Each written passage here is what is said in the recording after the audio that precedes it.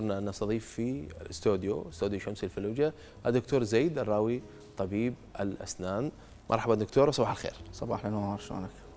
أنا زين ما دام أنت منور وراح تحدثنا. اليوم عن منور بيكم إن شاء الله نتحدث اليوم عن هذه مواضيع الأسنان وتنظيف الأسنان نعم. وكيف نحافظ عليها وإحنا يعني عندنا مشاكل رائحة الفم وغيرها أثناء الصيام في البدايه صباح الخير على كل الساده صباح المشاهدين. آه، بالنسبة لموضوع الرائحه اللي تفضلت به والمحافظة على الأسنان آه، عن طريق ال- الأكل طبعا. رقم واحد. أهم شيء إزالة فضلات الطعام آه، بعد الفطور وبعد السحور. يعني وجبتين والوجبتين متقاربة تقريبا. وخلال هذه الفترة تلقى الشخص ينتهز هذه الفرصة نازل على ما بالضبط. يخلي لا حلويات لا معجنات لا سكريات ما يخلي شيء يعتب عليه.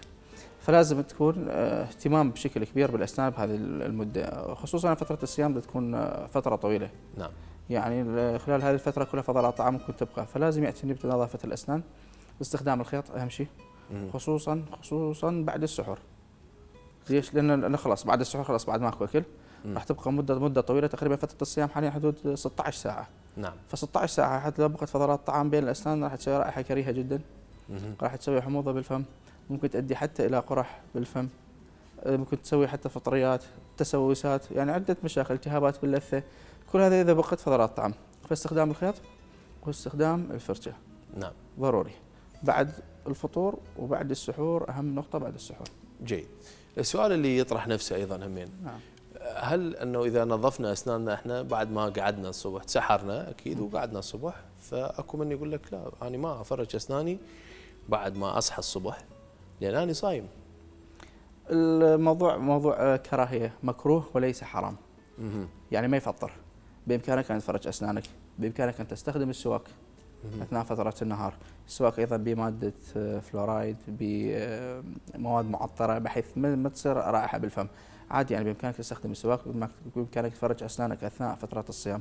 ما يفطر إن شاء الله. والله أعلم.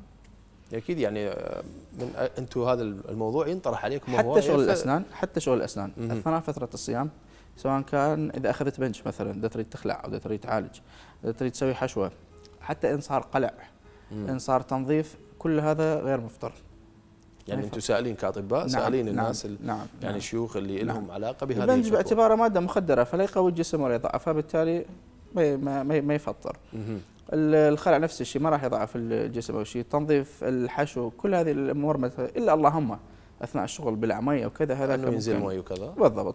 أها. بس الغالب يعني يكون شغلنا دقيق وعلى كيفنا شوي شوي حتى ما لا وبعدين يعني لا يكلف الله نفسا إلا وسعها. وليس. على المريض حرج. هو طبعا أكيد. اذا إذا يقدر متألم هاي بعد رخصة من رب العالمين انه تشتغل له ويكون مفطر إذا هو جميل. مت- متألم أو عنده الم شديد. يعني في رمضان أكيد إحنا ما شاء الله والحمد لله يعني ننتظر ال- الإفطار حتى حتى ناكل. حتى ناكل. فبالتالي الموضوع آه، يصير بمبالغة في صحيح. بعض الأحيان. آه، شلون نقدر نحافظ؟ أو هل هناك يعني مسببات تزيد من أو من سوء حالة الأسنان في رمضان؟ طبعا آه، طول طول الفترة هذه الفم جاف. تصير قلة سوائل. هذه هي السبب الأساسي إنها ممكن تصير رائحة بالفم. تقل السوائل تقل فرازات اللعاب. بالتالي تصير روائح بالفم. شلون تتغلب على هذه المشكلة؟ إنك آه، تشرب كميات كبيرة من الماء. بعد الفطور. طبعا ما راح أقول لك تجنب الحلويات لأنه مستحيل ما أحد ما راح يأكل حلويات. أكيد يعني السكر ينزل بالدم فبالتالي بالضبط. أكو. ممكن إنك تأكل آه، فواكه مثلا آه، أكثر شيء محبب نوع من الفواكه تكون مثلا الفراولة. تحتوي على نسبة عالية من الكالسيوم. مفيدة للأسنان رائحتها طيبة ممكن ها تبقى نوعا ما رائحه رائحه الفم طيبة. يعني تحاول تبتعد عن المواد ال sticky food بصفة عامة اللي تلزق على الأسنان وتسوي مشاكل هاي تحاول تب- تبعد عنها. يعني الأمور تقول نبعد عن الزلابية مثلا والبقلاوة ما حد راح يبعد ما حد راح يبعد كذب صح له لا؟ مضبوط. تاكل الناس مشكله بس المهم تفرج ما بعد ما تخلص ضروري. هاي أهم نقطة حتى ما ما يبقى أي فضلات طعام على الأسنان. لا تسبب حموضة لا تسبب تسوسات لا تسبب التهابات لا تسبب رائحة بالفم. يعني حتى أنت أحيانا إذا صار عندك حموضه بالفم أنت تلقائيا راح تكون منزعج تكون ضايج. مزاجك متعكر ما تقدر لا تشرب ولا ولا تقدر تسوي أي شيء فبالتالي تسبب لك آه، حتى مشاكل نفسية ما تكون تكون غير غير مرتاح إذا فمك غير نظيف أو برائحه أو كذا مهم. واحد يتجنب أو إذا ما يقدر يتجنب خليه يأكل بس المهم يهتم بالنظافة مثل ما قلنا خيط الأسنان وتنظيف الفرشه ممكن يستخدم حتى في بعض الأحيان آه، أنواع مضمضات معينة. إذا يريد بعض أنواع الأعشاب مثلا عندك الهيل نعم. آه، عندك آه، القرنفل. ممكن أيضا تغلي القرنفل وتمضمض به فعال جدا و هذا ومحبب. الكلام ما بعد السحور يعني. طبعا طبعا ما بعد السحور. ما بعد السحور قبل ما. هاي نعم. واحد يغلي القرنفل. نعم. وتمضمض به وتغرغر به. تغرغر به غرغرة عادية. تبقى ريحته وطعمه بالفم مدة طويلة. جميل. خلينا نتحدث عن مواضيع ثانية أيضا تخص الأسنان. موضوع مثلا اللي عنده سن آه، مثلا صناعي أو هذه الآن الطبقات ال- الفينير وغيرها اللي نعم. نعم. تصير وتغليف الأسنان. إلى أي مدى الموضوع يعني آه، إيجابي أو سلبي بالنسبة لل- للصائم بهذا التحديد يعني أو تنظيفها؟ بالنسبة للجميع أنواع ال- الفينيرز أو التركيبات أو ال- الأغلفة اللي تغلف بها السن أو الجسور أو حتى الزرعات أو حتى الحشوات هذه كلها مواد صناعية في داخل الفم. نعم. حالها حال باقي الأسنان تحتاج نظافة تحتاج اهتمام تفريش بشكل مستمر خصوصا أنواع التركيبات القديمة هذا اللي فيها خزف ومعدن شوية مرات تسبب التهابات مع اللثه تحتاج اهتمام أكثر. مم. يعني قصة قصة نظافة شخصية واهتمام بالفرشة والمعجون رقم واحد. والباقي عادي حالها حال بقية آه، الأسنان. يعني إذا كان فمك نظيف لثتك نظيفة ماكو فضلات ما بين الأسنان باستخدام الخيط طبعا. بالتالي ما راح تسبب أي مشاكل لا الفينيرز ولا التركيبات ولا الحشوات ولا أي شيء. حيكون فمك نظيف بصفة عامة. يعني كل محور حديثنا ده يركز ويعطي نصيحة واحدة رقم هي واحد ازاله فضلات الطعام نعم. نعم. لكن مرات تحس إنه أنت سويت اللي عليك جبت الخيط سويت الفرشة كذا تحس ثاني يوم الصبح أكو بعد فضلات. هاي شنو سببها؟ إنه ممكن تكون الفرشه قديمة. مم. ممكن قاعد يفرش ب- بطريقة خاطئة. ممكن الأكل اللي ماكله so sticky يعني من النوعية اللي ما شاء الله تلزق على بالعراقي السن تلطش مو تلزق. تلطش إيه. بحيث صعب من الصعب إزالتها. فممكن تكون هذه هي الأسباب. بامكانه يفرج مرة ثانية بعدين مثل ما قلنا إنه ما يفطر إن شاء الله. فبامكانه يفرج حلو. لا تنسى انت حتى عندنا الوضوء يعني مر بالعالمين بين فترة فتره أحد يتوضأ. هذا دخول الماء. وخروجه أيضا يعني يغسل الخلايا الميتة ال- إذا أكو بقايا فضلات طعام أيضا سبحان الله كلها تطلع ويرجع ينظف الفم. جميل. آه، نرجع إلى موضوع ال- ال- الفرشة والمعجون معجون الاسنان آه، بصورة عامة يساعد إحنا دا نشوف الآن بالتلفزيون الإعلانات. extra white وما أعرف شنو white و 3D white. هل معجون الأسنان يساعد بتبييض السن؟ والله كلها إعلانات تجارية. كله شنو؟ كلها إعلانات تجارية. ما شفنا أي شيء واقعي إنها بيض الأسنان. طبعا هذا السؤال. أنا اساله لكل طبيب أسنان يمر بطريقي؟ طبعا إحنا كأطباء يمرون علينا مندوبين الشركات وكذا فيعطونا عينات. دكتور هذا 3D white دكتور هذا pearl white بياض اللؤلؤ هذا ما أعرف شنو نجرب مم. ما جربناها ما, ما لقينا اي تغيير. إذا أنا ما لقيت تغيير ما ممكن أنا اكتبها المريض أو أقول له يابا okay هاي روح تبيض وهذا للمدخنين. وهذا للما اعرف إيش؟ للأسف كلها كلها ما ما شفت أي شيء فعال يعني شنو يصعدون مستوى الفلورايد بالمعجون لو شنو؟ بالضبط يصعدون على أساس مستوى الفلورايد مم. بعضهم يحطون حتى نسبة أحماض الأحماض أيضا شوية مرات تسحب الكالسيوم من السن تحسه على بياض بس ما شفنا اي أي تحسن ولا أي تغيير من وراء هاي المعاجين تبييض حصرا إذا تريد تسوي تبييض عندك نوعين تبييض يا اما هذا التبييض بالليزر مم. أو ال- ال ultraviolet عن طريق الطبيب طبعا يصير بالعيادة. أو النظام الثاني ممكن أكو هذه تروح للطبيب ياخذ لك مقاس للفك العلوي والسفلي مم. يصنع لك مثل ال- الجهاز أو التلبيسه تكون شفافة. نعم. وتلبس ويعطيك وياها جل تحطه على مكان الأسنان وتلبسه مثلا 12 ساعة باليوم 6 ساعات باليوم على حسب الفترة من تقوم تغسل وراها أسنانك. هذا أيضا ممكن يسموه تبييض المنزلي. ممكن أيضا يساعد على عملية التبييض طيب هذا موضوع التبييض هذا. يأخذ من من طبقة المينا من السن كذا؟ لا ولا لا نهائي؟ نهائي عبارة عن مواد كيميائية ما لها أي علاقة لا حت حيكون برد بسطح السن مم. ولا راح تلعب به ولا راح تنقص منه ولا راح تسوي له أي شيء. هذه المسألة أتصور في رمضان ما نقدر نسويها اللي هي الكيميائية اللي تتخلى. أحد راح يجيك برمضان بالنهار يريد يسوي تبييض؟ يعني أنه يعني اللي يجيك اللي يجيك بنهار رمضان يجيك متألم عنده. تسوس واصل الاعصاب عنده خراج عنده يعني مشاكل كبيرة باللثة متألم ما قادر ينام بالليل هذول. بالغالب اللي يجوك بنهار رمضان حلو نرجع نتحدث عن اللثة نعم. إحنا تحدثنا عن تنظيف الأسنان بهذه الطريقة لكن اللثة شلون نحافظ عليها؟ هل الطعام أثر بهذا الموضوع؟ طبعا والعصائر وكذا؟ طبعا إذا كان آه، نوع من الاطعام يسموه hard food أو ال soft food هذه كلها تأثر على اللثة. عندك أكو أطعمة تنشط أنسجة اللثة. يعني أنت تقريبا 16 ساعة هسه حاليا نصوم. مم. هذه كلها العضلات مال الفك والانسجه مال اللثه كلها متوقفة على العمل. هذه تحتاج إلى إلى شغل. يعني رب العالمين اعطاك إياها حتى تشتغل. حتى تاكل حتى تمضغ حتى تتحرك بهالفعالية هاي حتى اللعاب أنت وافرازه 16 وكذا. ساعة 16 ساعة هذه متوقفة.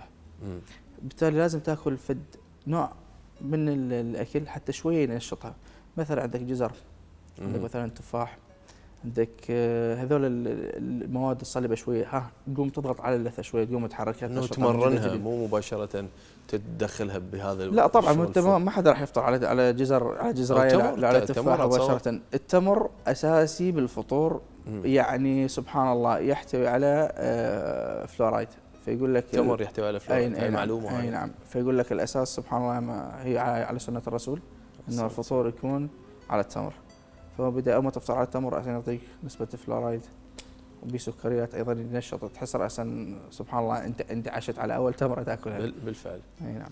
يعني هاي واحدة أيضا من الأشياء الجميلة أنه أنت تحافظ على الأسنان من خلال التمر. إحنا كنا نقول التمر سكريات عالية فبالتالي يساعد على التسوس وكذا. طلع بيه فلورايد. بالعكس- نعم بيه فلورايد. والله التمر يحتوي على نسبة من الفلورايد. حلو جدا. إذا إحنا أيضا اللثة هذه آه، لازم نركز عليها باعتبار أنه هي المفروض تشتغل كل النهار. طبعا هي النسيج الداعم للأسنان. إذا هي خربت بالتالي الأسنان كلها راح تخرب. جميل. آه، بس بالأكل نحافظ على على اللثة ولا عندنا مثلا آه، أشياء ثانية؟ يعني في بعض الأحيان يجينا مرات مريض عنده في- موقع معين من الأسنان تكون. لثة نازلة. نعم. هذا ممكن إنه عن طريق الفرشه نعلمه بطريقة معينة يحاول يرفع بأسنان الفرشه اللثه اللي فوق باتجاه السن يعني باتجاه تاج السن. نعم. وتكون بكثرة بتكرار يعني. يعني مثلا هسه أتفرج مثلا نقول له فد 20 30 مرة بهالاتجاه واحد اثنين ثلاثة إلى 30 من الداخل نفس الشيء. الكثره والتكرار تخلي النسيج يرجع. بس مم. بشرط يكون حوالين السن نظيف ما تكون موجودة ترسبات. نعم. يعني لازم الدكتور يسوي تنظيف في البداية إذا أكو ترسبات. وراها نعطي على الطريقة. الترسبات هاي اللي تصير لونها الترسبات الكلس، الكلسيه إيه. تكون لونها على أخضر أو على رمادي مم. هذه هي الترسبات. تكون أجزاء كلسية مثل الصخر مرات توقع. نعم. هاي بعد التنظيف خلاص صار سطح السن نظيف بإمكانك عاد بعدين بالفرشه بس هاي لما تكون عندك نسبة قليلة من اللثة نازلة. ما. تكون كمية كبيرة مثلا ثلث السن مكشوف أو ربع السن. هذا من الصعب جدا إنه اللثة ترجع لنفس المكان. هذه الحالات آه، يصير بها تدخل آخر تدخل جراحي. نعم. تنفتح اللثة وينحط آه، عظم إما باودر أو جزء من العظم. ويتخيط مكان الجرح وتبقى مدة على الخيط. الآن شوي يلتئم الجرح يلا عاد بعدين ينفك. وأيضا نعطي للمريض بنفس الكيفية طريقة التفريج. يرجع اللثة. اذا اللثة أيضا موضوع جدا مهم. طبعا إحنا نسيج أساسي ثقافتنا. قليلة تجاه اللثة حقيقة. هي بصورة عامة ثقافة الأسنان آه، عندنا شوية يعني خلل بالتعامل وياها. نعم. لأنه لحد ما يأذيك سنك إحنا صحيح. ما نتعامل ويا صح السن. ولا غالبيه غالبية المرضى ما يجون إلا إذا الألم خلاص. إنه ماكله للسن اكل واصل للجذر وما نايم أصلا الليل هاي الله يجيك. خصوصا حتى إلم بسيط شوية بالنهار شوية بالليل يغلس. يأخذ له بنادول يفوت يفوت على الموضوع.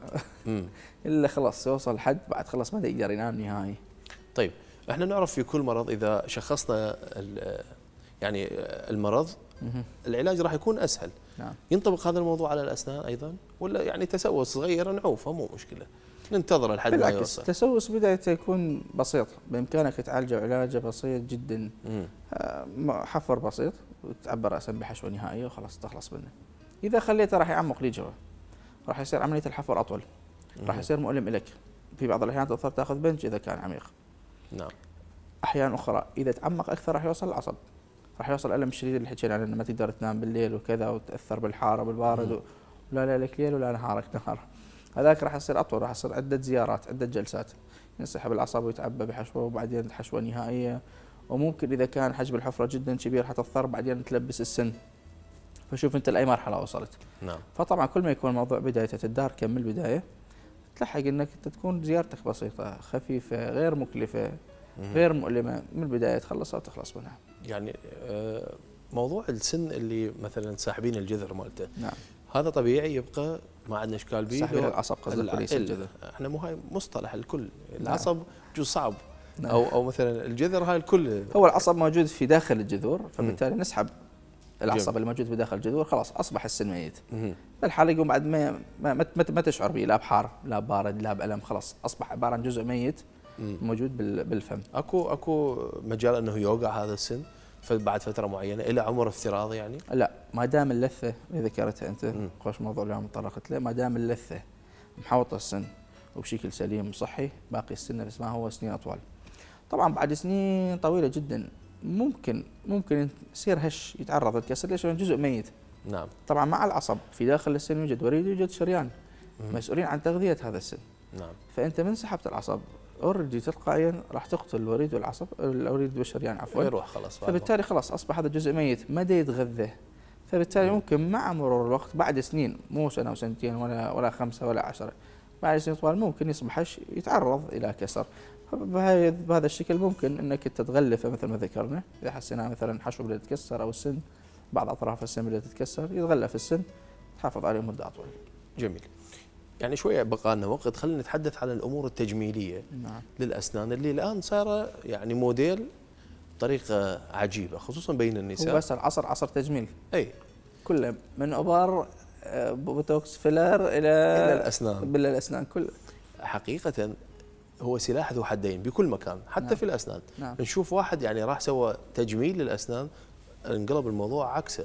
نشوفه كأنه ما حاط له فد شيء بالفم وما يقدر يحكي. شنو اللي يختلف بهذا الموضوع؟ الموضه اختلفت. هسه مثلا عندك موضه هسه هاي ال- البايفد ال- ال- الفتحة اللي ما بين الأسنان بين الوسطيه اي هسه اكو قسم بنات يجوك. سوي لي جهاز تقويم حتى إذا بعد الأسنان دسر عندي فتحة هنا. والله. والله العظيم. البعض الآخر تنباع. شلون ما تقول اكسسوارز للأسنان صارت؟ نعم. عبارة عن آه، فتح حبيبات شلون الكريستال؟ اللي هاي تتخلى. أحمر وأصفر وأزرق وأخضر. تنحفر ثقب بسيط بسطح السن وتلزق بحشو بيضاء وتبقى. من تبتسم تطلع هنا فد مثل الالماس هنا آه. لون وردي لون أحمر لون أخضر. يعني الناس الناس أذواق. بالنسبة للتركيبات أكو واحد يريد اسنان يريد يكبرها. يعني مثلا هسه أنا مثلا اسناني مثلا كمثال. نعم. يقول لك أنا لا أحسها صغار. وكبر لي إياها. تعال الجسر راح تركب لي اياها أو ال- الأوجه الفنية راح تركب لي إياها كبرها وسع عرض طول هذني كلهن الشغلات تقدر أنت تلعب بها باحجام الأسنان يعني مثل نعم. ما تريد لون الأسنان بس أكو هذا اللون الأبيض جدا كلش يعني يعني يبين عبالك هو- جدا over أي يعني اصطناعي يبين ذاك ناس تريد. يقول لك أنا أريد هذا اللون ال over أريد- عبالك بلاستيك هذا ها. مو سن أنا أريد من أبتسم أريد هيك فد شيء شعشع من بعيد أريد يكون مصدر اهتمام إذا واحد مصدر جذب. واحد كلش أسمر أو واحدة هي سمراء كلش هو الأسمر already حتى الستون الصفر راح تطلع بيض ويا والله؟ سبحان الله يعني آه، منو يحدد هاي المسألة مسألة ال- الشكل الطبيب ولا ال- إحنا المريض ننصح المريض. مم. ننصح نقول يا هذا هذا ماشي شكلك. مم. هذا الحجم okay. طبعا أحجام الأسنان عند الإناث تختلف عن الذكور تكون أصغر. مهم. تكون أقصر. أه فننصح أكو عندنا كلر شيد أه متعدد الألوان. تختار منها تراوي وتجيب له مرايه تقول بشوف. تريد هذا اللون تريد هذا اللون. تريد هذا. اللون. يختار على حسب اللون.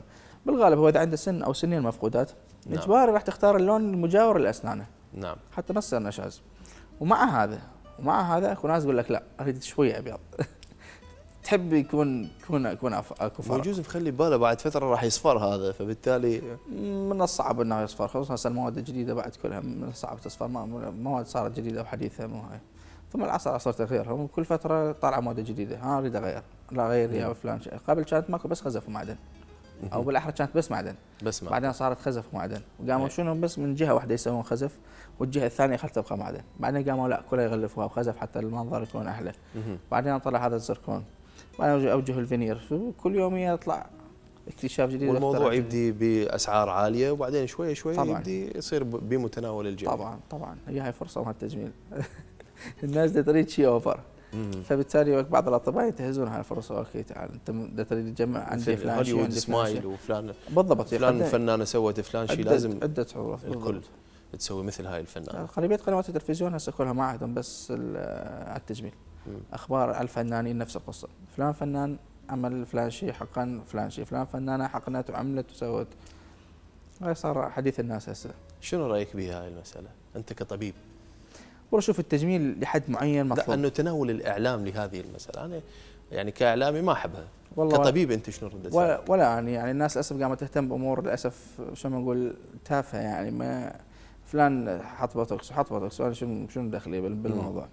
الممثل الفلاني الممثلة الفلانية شفطت سوت عملية تصغير معدة. أمر أمر شخصي يخص كل كل شخص. الجمال مطلوب. إن الله جميل يحب الجمال. يعني مطلوب بس مو شيء أوفر. أو اللهم اكو بعض الناس يعني خطية محتاج بالفعل مهم. يعني مثلا عنده تشوهات في الأسنان ضرورة يعني يكون بالنسبة. له اي بعض الأحيان آه، يعني تجيك مثلا آه، اكو أشخاص لما يضحك جزء من اللثه من فوق يبين هذا يحتاج حقن حقن بالشفة تنزل بعض الشيء اللي جوا بحيث من يبتسم تكون الحد ويا حد الأسنان ما تطلع جزء نعم. من اللثه هذول هذول أشخاص محتاجين تجميل إيه. لا إحنا صارت المسألة over حقيقة. صارت over طم طيب قبل ما نختم لقائنا دكتور يعني النصائح للصائم ماذا يفعل حتى يحافظ على الأسنان؟ يعني لو سمحت باختصار. النصائح للصائم باختصار تناول كميات كبيرة من الماء. أهم شيء لأنه هو العنصر المحفز لإفراز اللعاب. حتى تبقى أطول أطول فترة ممكن إفرازات اللعاب بالفم ما تصير رائحة ما تصير فطريات ما تنمو البكتيريا بك- بشكل كبير. النقطة الثانية يحاول يبتعد عن الستيكي فود. يعني هي ال- ال- الأكل اللي يلزق بشكل يلزق. كبير حلويات ال- بكثرة الرزلابيه البقلاوة خلي. ياكل خلي ياكل يحلي بس بكميات معقولة مو مثلا يقعد ياكل نص كيلو زدابية وكيلو بقلاوة مهم. يعني over حتى المعدة الدخان. علينا هالشكل الدخان أيضا يسوي نوع من أنواع الجفاف بالفم أيضا هذا بالتالي يؤدي إلى زيادة البكتيريا بال- بالفم يسوي روائح يسبب تسوسات التهابات باللثه تناول ال- الأطعمة مثل ما ذكرنا يحاول آخر شيء يختمها بفواكه مثلا. فواكه تكون صلبة. نعم. ويفضل الفراوله نعم. بها نسبة كالسيوم ورائحتها تكون طيبة. إذا عنده شوية حب حب هيل ي- يقول أطلع حبة هيل مثلا قبل ما ينام أو مثل ما ذكرنا يمضمض بالقرنفل. بالقرنفل. أو يستخدم بعض أنواع المضمضات. أيضا جيدة. استخدام السواك أثناء فترة الصيام يقدر يستخدمه يقدر يفرج أيضا يعطي رائحه آه، منعشة للفم يعني حتى حتى نفسيا ترتاح. جميل جدا. يعني حقيقة الوقت معك آه، مشى ونتمنى أن نصائحنا أحلى. آه، تسلم. نصائحنا وصلت للناس. شكرا جزيلا. لانضمامك إلينا في شمس الفلوجة. دكتور زيد الراوي طبيب الأسنان المختص. شكرا جزيلا لك.